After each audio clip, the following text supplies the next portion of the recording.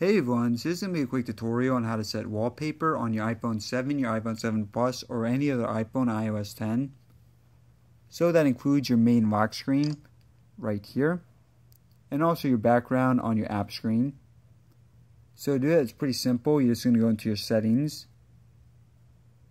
and then you are going to click on wallpaper, see right here.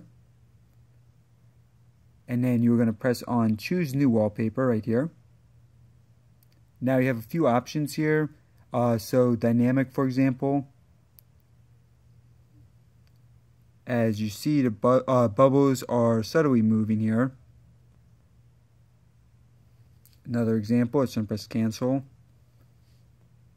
Going to go back and some stills. So this is the one right here. Um, just an example of a planet.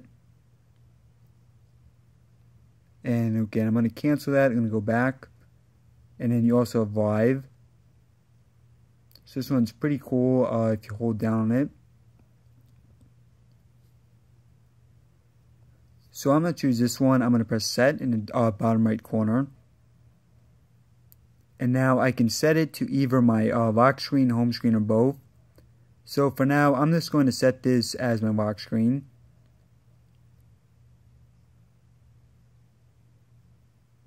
Alright, and then I'm going to set another one as my home screen. Going to go back. And with this, I'm actually going to choose one of my own pictures. Uh, I'm just going to pick this one right here.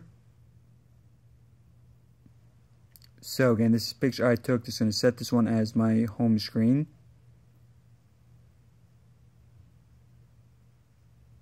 Alright, so we set both. Going to go back. And now this is the new lock screen.